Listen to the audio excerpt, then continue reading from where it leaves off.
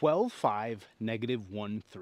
The flight numbers for some of the most popular discs ever made. Whether you get them up to speed and you throw 500, or you gotta throw a full flight flex line just for 250. The destroyer type disc is one that everyone wants to throw and every company wants to compete with. Today, we're gonna be talking about one of the newest 12.5 negative 1.3 discs to hit the market. There's three keys to disc golf. Driving, approaching, and putting. You need all three to do this disc sport. This is the new Birdie Disc Golf Supply Reach. You guys know how I love the Birdie Disc Golf Supply Ultra, and this is their new prototype 12.5 negative 1.3 driver. Out here at Patty Canyon, gonna be throwing some holes today. Hole number one, we're gonna see if we can hit it on a couple forehand lines, kind of just test out the flight, give you my initial thoughts, test the stability. Oh yeah, that's got some stability to it. You never know, good little skip at the end you never really know with the 12.5 negative 1.3 because I think some companies, they make that disc and it just doesn't have any integrity. You don't want them to be absolute beefcakes because then they just don't go anywhere. You probably got to be the 250 full flight guy.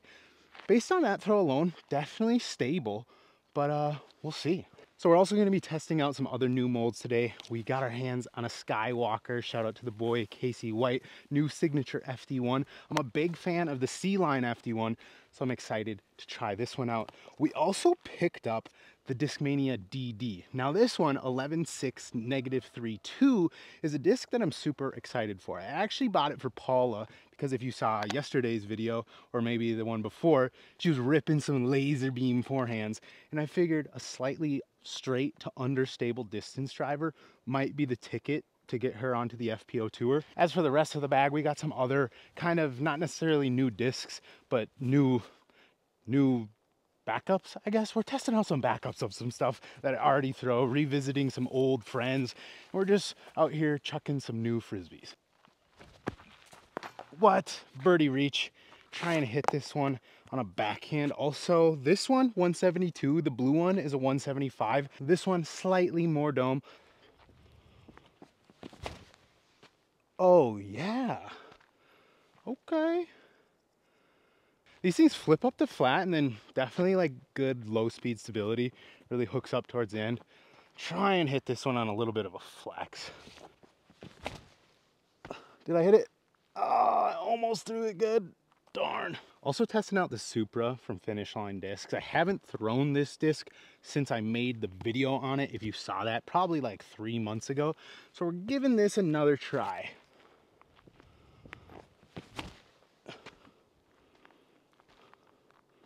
Laser beam.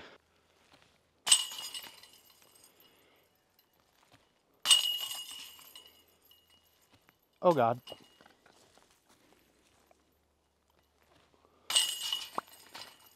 Make sure those putters are stuck back in the hand, guys. Don't don't let them slip out and putt like a jackass. So this Buzz SS right here, it's got a tournament stamp from 2013. If you're an OG on the channel, you've probably seen this one because I tested it out very shortly back in the day. Very similar feel to my blue team stamp Buzz SS, but now this is kind of a freshy oldie, hoping that it's much more stable so I can hit it on some forehand lines. We'll go base plastic, not zone.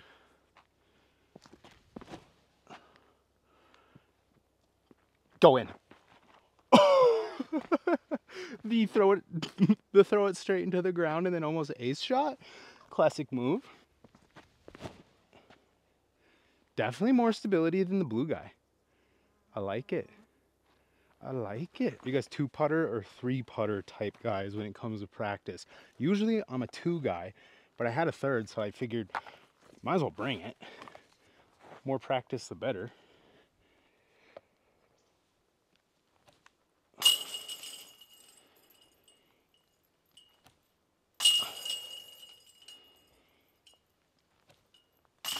Oop, got it. Let's go. Let's go. I don't even need to practice. I did have a comment on video a couple days ago about how you used to be able to relate to my putting and now now I my mental has just switched and I've been been improving to say the least. I might still doubt myself at some times, but it is very true that I've felt so much better on the putting green, on the put. Guys, I can't talk. What the fuck? But I felt better on the putting green as of late. Really just being more confident, giving them a chance. Obviously, feeling much smoother always helps. But yeah, we're feeling good. So thanks for noticing. So this is the reach. This is the wing profile. Super smooth kind of ring. Not too much of like a little hook right there, which is something I don't like. I like when it has, I just, I guess it's just flatter. I don't know. And this plastic, I don't think it's the same as the Ultra or the Strike plastic. It feels different. The tooling's different. Super nice, like almost, I think it's glow. I actually don't know, but it feels very good. Nice, like medium firm top, stiff, medium stiffness rim. I like it. New C-Dub Skywalker. We're just gonna hit it on a nice little chip forehand here. Oh no, my, my nose ring just came undone. It almost fell out. White boy problems. 75% white boy problems. And I just absolutely air the shit out of it. Felt nice though. so here is my C-Line FD1, one of my favorite fairway drivers on the market right now for like that overstable, straight to consistently torque resistant and overstable, not anything like a Firebird or anything, but love this disc. I was somewhat surprised when the Skywalkers came out because I could have sworn in Casey's initial video, he said the, the, the Skywalkers were supposed to be more overstable than the C-Lines. but then once they all came out, I saw all the reviews and everyone's saying they're supposed to be like a straighter version. This one I've been throwing for maybe four months now, ever since before they came out. Casey gave me this one back in Nashville. So it's got some wear and tear. We're gonna try and compare them later, kind of figure out the stabilities, but FD1, super good disc. All right, Skywalker did not quite, didn't quite dial this one up. See if we can hit a putt, hopefully. Yup. Oh God, never mind, I made it.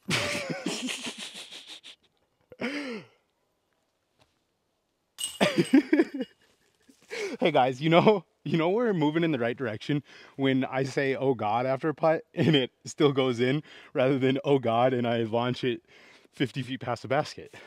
We're moving up. Oh god, we're doing tryouts over here at the Frisbee Club for the straight to slightly understable uh, forehand approach disc. You know I've been loving the Shaman lately, but the Shaman I don't think has much more than maybe maybe 175 feet on it because any more like torque or spin and it kind of just dies out turned over so we're debating on if that's the right disc or if we should get you know a knot zone kind of beat it up. I don't know but tryouts. Open tryouts. Might try a jokery. I don't know. I did feel one the other day. A little too deep for my liking i think. So i mean that's parked. You'd think i could flick a glitch. I can't. We're gonna we're gonna try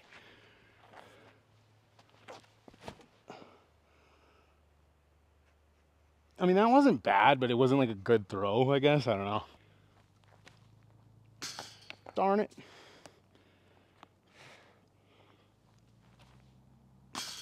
What?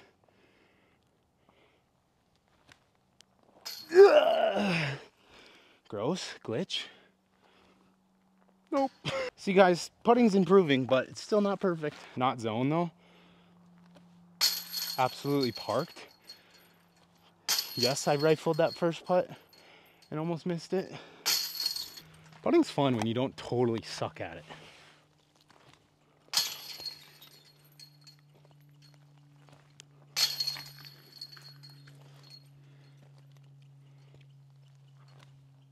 Nice. You guys have probably heard me say how every time I I'll like throw a fan grip and then it'll fall out of my hand. Haven't been good at fan grips lately, whereas in the past I've felt pretty 50-50 on like fan grip, power grip. It doesn't affect it. It's more of like type of shot I want to throw. Lately, fan grip, useless. So we're gonna try and like kind of dial it back in.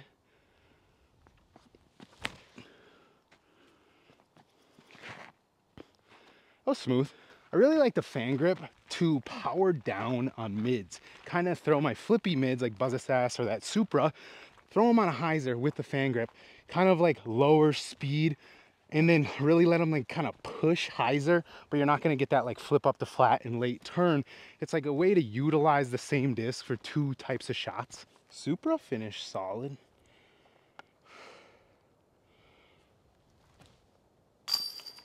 Guys, this basket, I swear, is like missing chains. Ooh, I don't know how it caught that.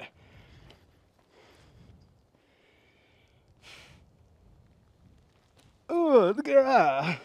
Gross. Gotta hit those comebackers, guys. This basket, like the Mach 5 or 2, can't remember what one it is. You gotta hit a little right side and let it pull in because the, the pull is like, there's, there's four or five inches of openness if you hit dead center. Or low left. So this hole's a pretty good one to kind of get like a little flex line. You got to hit this center gap, push it right, and then kind of stall forward. I don't think it's far enough to quite get a full flight on these FD ones, but we're going to hopefully hit the line, kind of see how they fight out.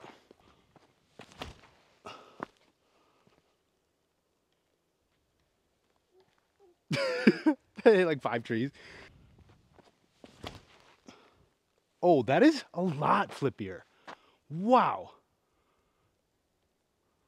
Now we know because my C-Line FD1 does not fly like that. Also, if you're wondering why I'm not putting on every hole, it's because some of these shots are horrible. And I only have like a 100 foot, no gap through the woods shot. And so I'm just picking them up, guys. We're just out here chucking. Supra.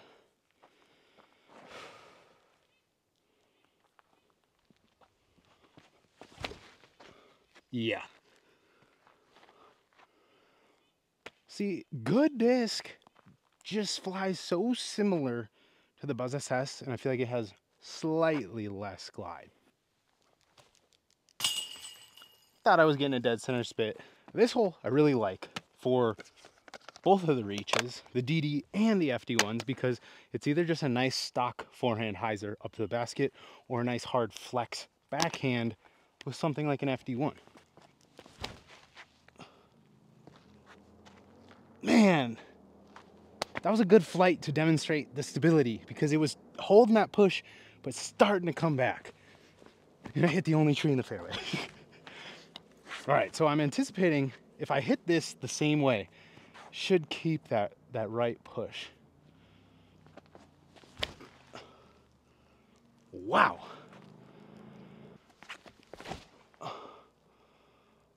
Super pushy barely had to throw that and it's parked. Wow. Effortless distance. Skywalker right on circle's edge.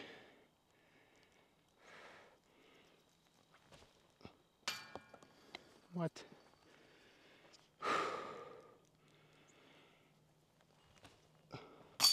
There it is. Oh, missed it. DD, little peach. This thing's good. Glitch. I might go in. Oh, I think I hit the pole. Reviewing discs is a weird thing because you come out to the course, throw a bunch of discs that you don't really know what they're gonna do. And then if you throw them bad, you're just like, I suck at disc golf. But it's like, bro, you have no clue how these things fly. One obvious good practice technique, if you get a peach, tap that one in, take a few steps back, and keep practicing.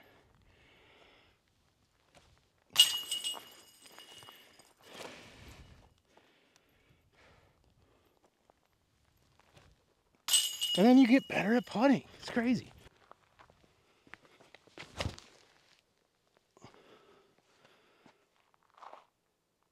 Got through the trees absolute puddle top. It's pretty new, but I've just been flexing it all around, trying to beat it in. Let's see how it flies. I think it made it more stable.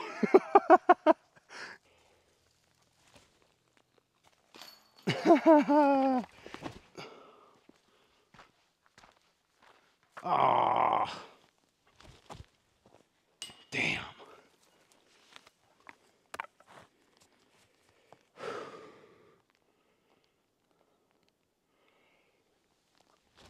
There it is. What? Come on.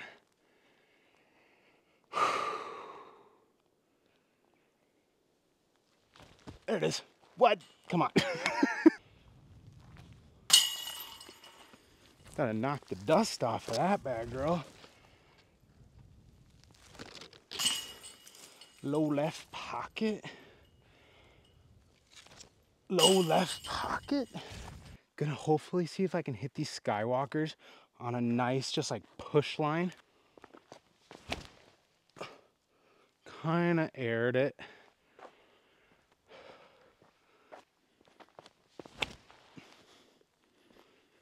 If that sneaks through, everything is the dirtiest line ever.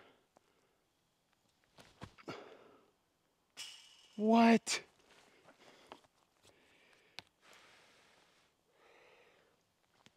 There it is. Yup, let's go. He's a fucking nerd. Guys, the C-Line FD1 was so sneaky. Literally got through everything. Not the best putt, but luckily there's no video on my scorecard. Talk to you later. Let's go. We're gonna take the backhand hyzer out here. Go in the hole. Oh! and he takes cage from at least 300 feet. I don't know how far this is. Too tight. Get down in the hole. Oh. Disc golf video, loud aircraft flying over top. Handshake emoji between those two things. The fuck was that putt? What? Talk to you later. So we decided to take things out to the field because it kind of felt like Patty Canyon wasn't necessarily the best course to demonstrate all the actual flights of these discs. So we got the reaches, we got the Quasar, we got the DD, and the FD1s. We're gonna give them a few rips and really try and get the true flight characteristics shown. Prototype reach 173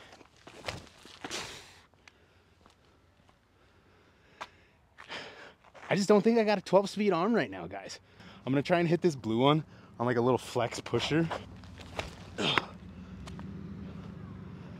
Okay, so that's pretty far, but I had to, I had to put some steam into that.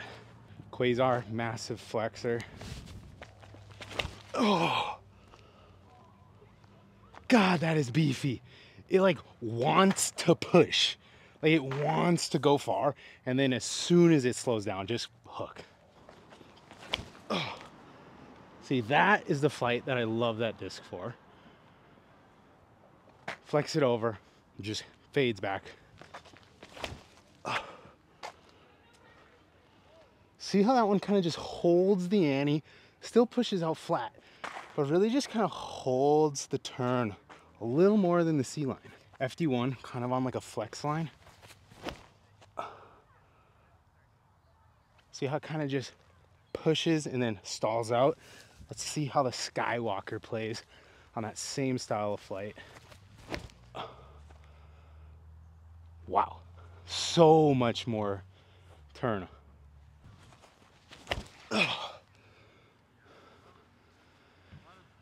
Guys, those reaches are beefy, which obviously is like what you want out of, you know, your 12.5 negative 1.3 distance driver. Oh. That should go. Oh shit. Sorry. Did not see you there. All right, I want to get a good DD forehand shot here. Kind of see the stability.